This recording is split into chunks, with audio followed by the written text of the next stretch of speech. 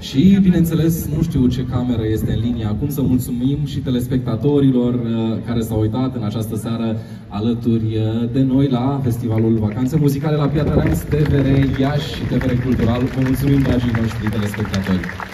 Doamnelor și domnilor, este momentul acela în care se trage cortina este această ediție cu numărul 49 a vacanțelor muzicale. Să ne revedem cu bine anul viitor la ediția aniversară cu numărul 50. La mulți și frumoși ani, vacanțe muzicale! Vă mulțumim și vă iubim!